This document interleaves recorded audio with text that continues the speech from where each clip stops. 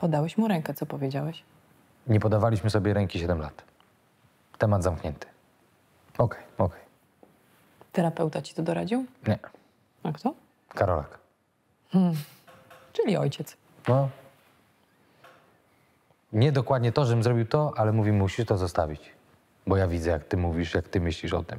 Bardzo mądry człowiek.